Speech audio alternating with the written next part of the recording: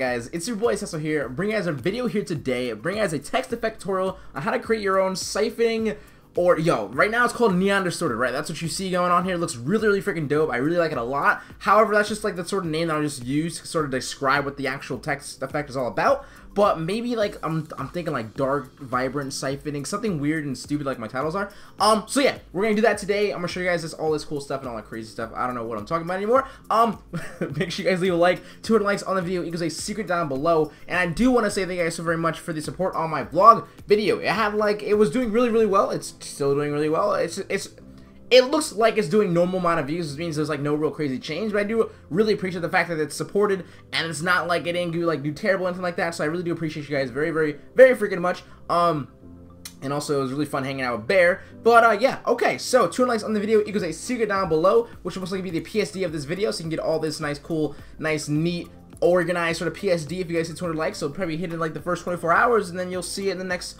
day in the actual description. So Alright, I'm ready to get this thing going. I don't know, I'm feeling real good today, but I don't know, like I'm just saying. Okay guys, let's go ahead and get this thing going. So I'm gonna go ahead and hide this group right here, and I'm gonna click on these two things, I'm gonna use the word neon distorted one more time. So, the font that I am using in today's video is called Freestyle Script. I believe it is a custom, excuse me, a, uh, how do you say, uh, currently you have the font I believe. I think it's already like a default font inside Photoshop or anything like that so it's a I, it's really good. It's really simple for this one and it really works out. However the only thing is that it's not thick enough for the sort of effect that I would like.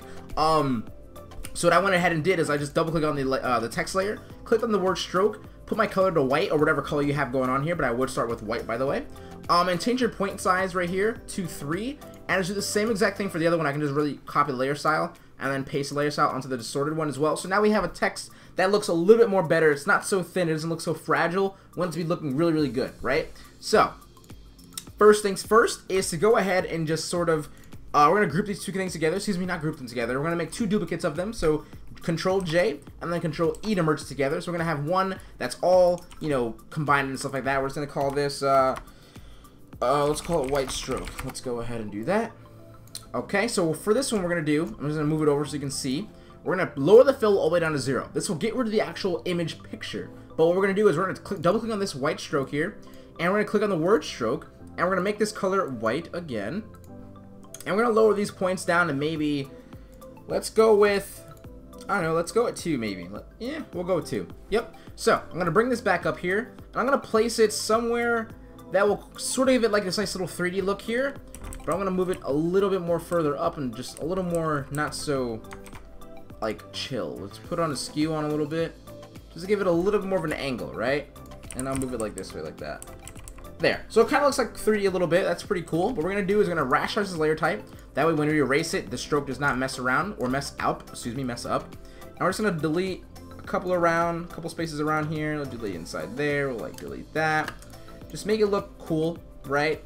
Uh, you have to really like concentrate on what the heck you're deleting either. Just make sure you kind of delete the the lines all the way though. Don't like leave it showing. I don't know. It really doesn't matter because really we're just kind of building this like really cool 3D text for when we use like the liquify and text effects stuff like that. Um, excuse me, filter galleries, not text effects, filter gallery, so it'll look a little bit better. So that looks pretty good, right? All right, so we're gonna do this one more time though. We're gonna do another duplicate of these two things. Control J, Control E, merge together. And for this one, we're to put, by the way, I'm always to put them below the actual main text for now until we start doing other stuff where I'm to put on top of it. So, this one right here is going to be called, I'm going to call this pink stroke.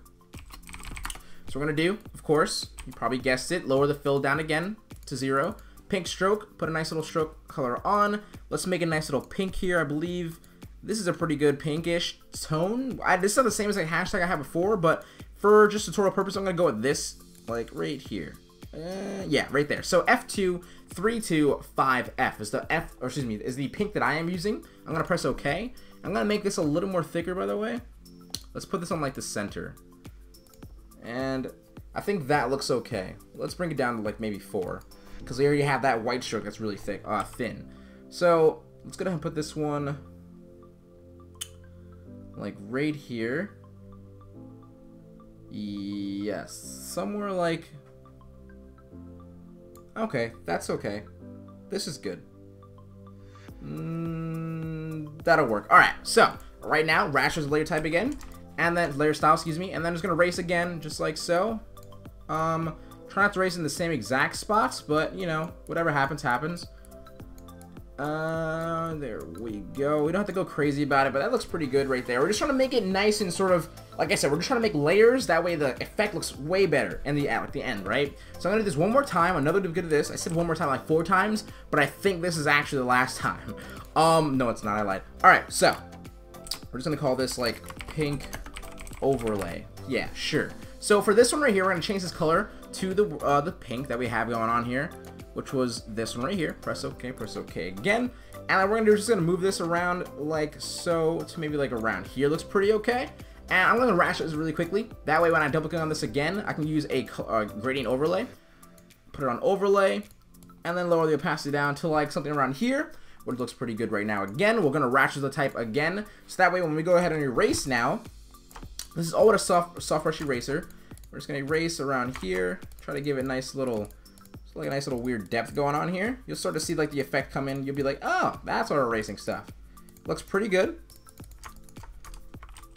And that looks okay. Alright, so with this little pink overlay, I'm to make a uh, clip mask on the actual, uh, the layer itself here. I'm to choose a nice little blue. Just to give it sort of like a nice two-tone color here. So it's not so boring. Okay, we're to put this on. Let's see if what happens if I put on overlay. But it should be, yeah, We'll leave it on normal, just lower the opacity down then. Let's give a nice little weird sort of two-tone color here, because we're kind of going for a neon effect. So right now, everything here looks very dull, but the sort of uh, combination of like multiplied like layers and the filters and all that crazy stuff, it's to look really, really good. So, I believe we're done with the whole text portion. You can do one more thing if you really want to, if you want to make another duplicate again, um, and use a dissolve, or make this bigger first. Just a little bit bigger, right? So just simple control T, and make it a little bit more bigger bigger. That's that's a word. Um, there we go. All right, dissolve, lower the opacity down. And if you want to, you can press Control U, colorize, and then just change this color to like something that would go look good. I think a nice pinkish tone would look good with this all this little pink and blue stuff. Um, yeah, that looks okay. Press OK right there, and then we'll just move this over a little bit. Okay, and so one more, two more things, I guess, in the bottom of this stuff is gonna make a new layer. We're gonna change a color here. We're gonna choose a color that's gonna be like a darker sort of tone. Let's go with something like this. Now we can change the whole tone of the colors later on in the in the tutorial if we need to with Control U and stuff like that. But take a soft brush. I'm gonna simply just click around the back just like so. And don't go, you don't have to go too like light with it either. Just something like very heavy, sort of like like it's like a neon sign, right? So we're gonna lower this. Oh, we'll leave that as is right there actually. Uh, oh, we could though. We can lower it down just a little bit, right? And then we're gonna make another new layer right below that one. And this is gonna be a lighter tone. So just take this same exact color, just make it a little more lighter. And take the brush. And just, this one is gonna we're gonna click a little little less, just like so. Right? And I'm gonna put this on vivid light. And Put that above that, maybe? Yeah, put it on above it. And then mess around with that a little bit. This will just help us enhance the sort of really awesome tones that are coming. I swear, you're probably like, dude, this is this is not looking the same. Trust, okay? All right, so we're gonna go ahead and just pick. Uh, now everything above this is gonna be above the actual text layer. We're gonna make a new layer. We're gonna take this pink. You can just choose a pink from on top of the the actual text that you have going on here. And I'm just gonna click like one or two, three times, just like so. And linear dodge, add. Oops, I didn't meant to use I meant to use an eraser, not another brush. So erase a little bit so it's not crazy. That looks pretty good. I'm gonna lower this opacity down to 65%. And right now, the first thing we're gonna first uh, do is we're gonna go ahead and just shift click on everything, including the background, press Control J, and then Control E. And then what we're gonna do is we're gonna go to multiply. We're gonna change the blend mode to multiply. And we're gonna lower this opacity down as well to about 50%. And this is going to start off our like our first sort of very dark scheme going on here. So if you want to, what you can do is use the masking little layer here. If you didn't know about this, you click on it, you click on the thumbnail, and use the brush. Your brush will be black or white.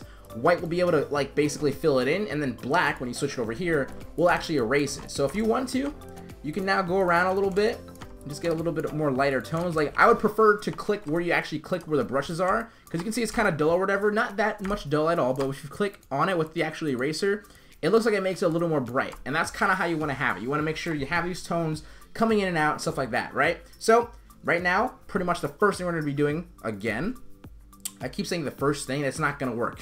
the next thing we're gonna be doing is that we're gonna shift click on everything of the text. So we're gonna shift click on everything here. So basically all the text stuff you just did. Control J, Control E it, and then I'll bring this above this here, of course. So you're gonna have something like this, right? This is what you want. It's above the actual text, so it's kind of like the same exact thing right now. We're gonna go to Filter, Filter Gallery, and we're gonna choose the Filter Gallery Path Work, which is right here. Excuse me, Patchwork. Um, and then I have the settings at three and then zero for the relief, and then I'm press OK. I'm gonna simply take my eraser, or if you want to, use the masking tool again. Take your brush, nice little black brush, go in here, and just erase a little bit. I think the whole pixel sort of thing looks really, really awesome within this little text effect because it just, I don't know, it kind of looks like it's dissolving or rendering or just, it really works out for this, I think. And I'm the reason I'm using this as well is I can go back in and kind of fill in maybe like more sort of effect that's that I want in there. But for now, this is perfectly fine. So I'm gonna go to brightness and contrast now. It's our first little color correction mix. Uh, mix. And for the brightness, we're gonna bring it to negative 40. And for the contrast, we're going to bring it to 35. And that's that. We don't have to mess around with the opacity or anything like that, but if you feel like you need to make it darker or lighter, I would still kind of hold off because there's going to be a lot more color corrections and it's, going to be a lot more going on. So right now, we're going to do this one more time. Do this whole ocean filter stuff. So what we're going to do is going to shift click on everything uh, about the text again, right? Control J, uh, Control J, Control E, bring it above everything. And then for this filter, it's going to be filter gallery and it should be Ocean Ripple here. This is what one you want. Now, if you really want to, actually, if you want to, we're, we're going to do this. We're going to take a full copy of everything, Control J, Control E, then go to Filter, Filter Gallery, and then use Distort Ripple, just like so. Press OK. And then for this one, simply just use the masking tool, the black brush, and erase around a little bit. I'm going to erase everything around here just so it's not like weird and ripple and distorted because that would just not work out and then everything in here you can just pick and choose where you kind of want to erase like you know I kind of want to make sure I still see the letters though so it's not completely like really weird and hard to read. So I'm gonna make sure I erase all around those letters. I'll keep like some letters like really covered. I don't know this R something like that. Right okay. Let's just erase the middle of the D and then leave everything on the outside. Okay right? Not bad. So you kind of see what's going on. You're just building these really awesome layers and these ocean filters, or, or, excuse me, the filters in your, your filter gallery. Now, if you want to, you can put as many filters, anything you want on it, but the final result is really this really fun neon sort of awesome effect, and then we're to put that little siphoning little thing, I'm to call it, because we're just to be using Liquify anyway, right? So now when I have this done, I'm to make a new layer. I'm to use a nice little blue here within this actual, uh, my little blue I had here. I, it's not really that blue, it's kind of purplish, but we'll make it into a nice blue. And we're just gonna click a couple times on the outsides here because we like we're using just two tones, right? Just kind of, this nice little pink and blue kind of tone thing going on here. So we're gonna follow that through. I'm gonna put this on soft light so it's not crazy, but you can sort of see that nice little blue coming out just a little bit. That's what we want though. So uh, okay, let's go ahead and just put a nice another little blue. We'll use the same. Eh, we'll use like a little darker one. For this one, we'll click over here, sort of like the opposite spots of the pink that we just had. I'm gonna put this on linear dodge just like so, and we're going to lower this opacity down. Okay, I kind of want to feel like I want to click over here as well. Like right here, and then kind of erase what's going on over here. I want to go crazy, but that looks pretty okay. Because all this sort of lighting stuff, all these little brush hits will look really good when, you, when we add like vibrancy and uh, the like the what is it called? The saturation, brightness, and contrast. The contrast is gonna make this look really really awesome. So just hold on, just hold on. We're almost there. So we're gonna add another color correction. It's gonna be vibrance. We're going to add 10 vibrancy right now. And then we're going to add 20 saturation. So you're going to see this like automatically coming in. So this pink that I have down here, where is it? I believe it is this one. I'm going to press Control U, take my lightness, and lower it down a little bit because it's a little bit too much. Is this one here as well? Yeah, just a little bit too much. I don't want to come out too crazy right now. I put this one up. There you go. Either way, whichever makes it sort of not so distorted. We don't want distortion colors. Um, right now, that looks okay, though. It's not bad right now. All right, sweet. So, after the vibrance, we're going to add a little color balance in here. So this is something I've been using, like doing a lot. I know you guys probably already know. I'm going to use 17, uh, negative 3, or 31, excuse me, and then 19 for this here. So this is kind of like the nice little color balance or whatever, if you want to mess around with yours, if you're using a different color scheme, this is just something that is really, really easy and very nicely controlled way of changing your colors around. So I'm going to just use my brush here erase around the outsides here because I don't want to mess around with that right now because I'm going to have another sort of final uh, color balance in the background that will actually make a nice little gradient in the background as well. So for now, I'm just going to click in here a couple times, trying to get like some color going on. But as you can see, looks pretty badass. It just kind of enhances the color a little bit. So we're to add a simple little S-curve now. Boom. Boom. S-curve. Just like so. We're looking really good so far. We're looking freaking awesome. Uh, let's put it like right there. Like it's almost not that much of an S curve. You can just you kind of mess around the bottom one. Oops, mess around the bottom one a little bit. Um, but the top one just a little, just a little bit above the line, and this one just a little bit below the line, just a little bit. So after the curve, we're gonna put an exposure in here. So this is just gonna change the last number here from the zero. So it's point zero zero zero zero zero, but there's like four zeros, so we're gonna have three zeros and one six at the end and that's our little simple little exposure correction just so we don't have that background looking super super blue because we're going to add more and more color correction more vibrancy when we add more vibrancy the color's going to pop out more so the whole point of the exposure is kind of dull it out just a little bit now and also still keep this little vibrant stuff going on in the inside so and I thought about this guys I promise all right so I'm going to take this everything again control J control E we're going to make little distorted lines now this is a really really old little technique used dude, like 2013, 14, um, 2014, I think. I, am chilling, relax. 2014, we used to do this a lot, right? You take these little distorted lines, using like the M marquee tool here. Take like some distorted lines, just like so. Boom, boom. And we're just kind of like, I'm holding shift, by the way, to make multiple ones. That one's not really a line. I'll make this super little skinnier. Now, the whole point of this was kind of like to make like a cool distortion, sort of like TV almost kind of ripple. Um, something like that, right? So what we're gonna do is on this, uh, this is a full copy of the actual entire design at this very moment. If we press M on our keyboard, right, that's what we have already. Layer via cut is what we're gonna use. Delete the sort of full thing you had before. So you're gonna have this here, right? This right here is actually uh, those little cuts that you made right here. So if I move them around with the movement tool, just like either a pixel down, a pixel up, just to distort a little bit. Uh, like that, it kind of gives that that really cool like TV distortion right there. It looks really awesome with this sort of effect as well. It gives the kind of the text more character even. I'm I I dare to say. Um, so at this very moment in time, I can go ahead and add another pink. I feel like I can add another pink here. Because we're gonna make, we're gonna keep making sure we're, we're adding layers of color and light, and we're just gonna put this on linear dodge, and we're gonna put this down to around 40%, just like so. Now, if you want to change the pink that you have, Control U, you can use the hue and saturation here on top. Um, and kind of mess around with that. Mess around with the lightness and the brightness. Uh, we'll leave it like right there, though. That's fine, right? It's kind of like an orange now, but hey, that looks okay. All right, and we're going to add another brightness and contrast in here right now. So we're going to put it on negative one brightness. Not that, like, I just did that in my actual tutorial, or excuse me, my actual example. So I'm just going to do that for the tutorial as well. And I'm going to take my saturation, excuse me, my contrast, and put it onto 60 and that looks pretty good. Right, you see the colors more popping out again. So at this very moment is a really cool little fun part. We're gonna shift click on everything, Control J, Control E, filter, and we're gonna go into liquify. Liquify always takes a little longer than everything, but right now my brush is at 300, density is at 78, and your my pressure is at 88 right there. So I didn't change that from last time, so I'm gonna probably say that those are the effects, or me, those are the uh, sort of settings that you want to have. And you also want to make sure you that you are on, which is one is this one called? The forward warp tool. And basically what I'm going to do is I'm going to make sure I just sort of click and give myself as many sort of swirls as I, as I want, right? I'm going to press Control Z all the way back if I need to, like, sort of fix it. Um, let's go with, like, like that. I'm trying to think of, like, where the text is. I kind of want to have it look like it's siphoning out or something like looks really cool. Um, let's just try it like that a little bit. So just mess around a little bit. If you need to try it multiple times, sure, and go for it. But right now, I think this is okay. I'm going to put this immediately on darken.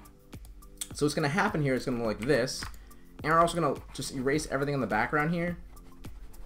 Just to make sure that's not there. So we're to click in here, or zoom in here. Once you erase everything on the background, you're gonna have like this little part here. That's what you want. Then at that very moment, you probably want to use the actual layer mask here. So black brush, take an eraser, and let's just go around and see what we got here. Right? Okay, that looks look that looks pretty good. Now, if I didn't erase too much right here, let me like kind of focus the eraser a little bit more. I didn't actually have to go all the way back, by the way. I could have just used white. Like if I want to, use white and fill it back in. I don't know why I press Alt Z all the way back, but you know, just be as careful as you can. I'll get rid of that. I think that's a pretty good smart move right there. There we go. And then over here, I want to be a little careful right here, I want to erase just enough right there. And I do believe that looks freaking good right there. I think that looks really awesome. So I just took a, one, it, it took one try, but of course it took make, like a lot of tries to get that really cool little swerve. Um, excuse me, like the little swirl for the actual Liquify. But once you get it, it looks really good. I think it looks awesome the way it is right there. And pretty much the sort of little final touches is a night, another vibrance and color balance and then levels. So we're to start off with the vibrance. And for this one, I have it on vibrance at 50 and then the saturation at 25 brings out the color a lot more. Just like so if you need to if you don't like think it's a little bit too much right there you can lower the opacity down. Don't want to worry about the vibrance stuff like that but i'll just lower the opacity down just a little bit. It's like 70 percent vibrance. And then i'm to add that color balance again like i said before. So for this one i'm going to use i believe i use 19 negative 14 oops 19 negative 14 and then 49 so with this one i'm going to click on that white little box here use a black brush and just erase sort of like just like this so I can have like a blue to like a black which looks really awesome I think in my opinion. But if you want to use like a lot if you want to have like a nice blue background as well there that looks pretty good as well. I'll, I'll leave it as is but I did use like a sort of fade but I kind of like how this looks right here as well at this very moment so we're not going to mess around with it. And then last but not least the last thing I did was use a levels. Now this is very very sort of design you know I guess accurate or design, I don't know, precise. So my settings might not be the same as yours because, of course, different colors cause different, I guess, RGBs to mess around with. But we're to go with 2, and I had it on, I believe, 0.92, and then 278. 278. Okay. 228. Yeah, it was 228. I lied. So what this does for me is brings out all those little white little spots in here, and it just pops it out immediately, makes my background a lot more darker. And for me, this looks hella killer and looks really, really good. I never used, what the hell is hella killer? Okay, um, just so you guys know, my little setup that I did, the way I did that was I quickly just sort of used, uh, what, I, what would I do? I'll just pretty much control J everything, just like this. I'm gonna do is I'm gonna erase everything on the outside here. Right, you can't really see that going on. I'll put this on the bottom of everything. Move this over here and put this on luminosity and let's just lower my opacity down. Take your Alt key and just move everything around. And you can make a pretty little, like, fun little kind of, I would, it kind of looks like a, like a graffiti kind of thing going on here, but it looks pretty awesome when you do something like this. This is what I did for my example. And if you want to, you can just combine it all, Control G, lower the opacity down even more if you need to. All right, make sure it's on, please, normal. There we go. Nope, excuse me, luminosity. And lower the opacity down a little more. Looks pretty fun. It looks pretty freaking. I'm yo. I'm happy it came up this way because sometimes I do the text effects it doesn't come out the most accurate way as I wanted to, but this looks pretty freaking awesome. It looks pretty accurate to what I had before, and I'm very excited for it. I think you guys will really like this as well. Um, like I said, I'm not sure what I'm gonna be calling it. Maybe like something like vibrant, siphoning, fun, dark, vibrant, something, something a lot. It's gonna be fun. It's gonna be looking freaking awesome. And I really want to see what you guys create with this actual text effect today. Um, so yeah, I try to go as like slow and sort of precise as possible, but you know, you know, me and slow doesn't really make any sense. But yeah, I really enjoyed this tutorial here. I'm not gonna lie, it's probably like up there with the actual. What was it? The other one called? Let me quickly look because I'm weird and I forget my titles because I never I never made the titles until like five minutes after the video. Um, Oh, the abstract fill-in one. Do you guys really like that one? This sort of plays the same theme, but more of like a really aggressive, sort of really fun kind of more like examples. So I really hope you guys enjoyed this, uh, this video here today. Do not forget to leave a like. 200 likes on the video equals a secret down below, which will most likely be the PSD of this video here today. Uh, so yeah, don't forget to follow me on Twitter at HQ. And if you guys are not subscribed to me, make sure you guys go ahead and subscribe to me. It's it's simple. You just subscribe to me, and then you get all these new videos every single freaking week. Um, so yeah, don't forget to check out my Sellfy, sellfy.com slash for any pre-mades and packs as low as $5. And uh, as always, guys, enjoy your freaking day, enjoy your night, enjoy whenever you're like, watching this video. Um, yeah, just uh, yeah, just live life, man. I love you guys. Thank you very much, and for watching. And dude, I don't know what it is. I'm, I'm so excited and like. I don't know what it is, but if you can't tell, I'm not tired. I'm not. I'm just really excited and happy. Just let. I don't know. Hopefully that can kind of like push on to you guys as well. So, now we're gonna keep smiling, stay positive, and stay freaking productive, guys. Later.